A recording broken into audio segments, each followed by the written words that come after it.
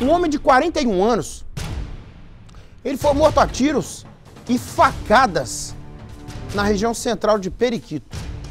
Um vizinho encontrou a vítima caída no terreno da residência com uma faca cravada no peito.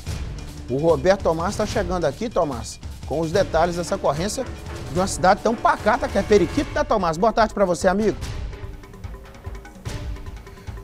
Nico, boa tarde para você, boa tarde a todos que acompanham o Balanço Geral. É isso mesmo, Nico. O morador da Travessa Lúcio Oliveira, do centro de Periquito, foi quem encontrou o corpo caído com uma, uma faca cravada no peito.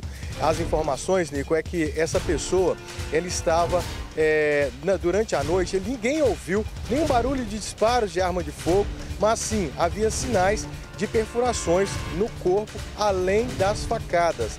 Segundo informações, a perícia foi chamada para fazer os trabalhos de praxe e lá chegando é, conseguiu constatar quatro perfurações a tiros da arma de fogo e também três perfurações à faca. Segundo informações, o Juliano Ribeiro Alves, de 41 anos, era morador de Ipatinga, mas prestava serviço como engenheiro agrônomo lá na cidade de Periquito.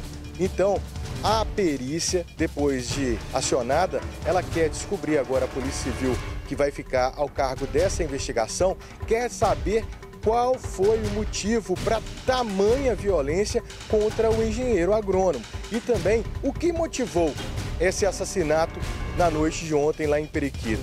Então, um mistério ainda ronda esse caso no Comedes. É, obrigado, Tomás, por sua informação, né? É, é muita fúria, né? Facada, tiro, que coisa. Obrigado, Tomás. Daqui a pouquinho está de volta aqui no BG.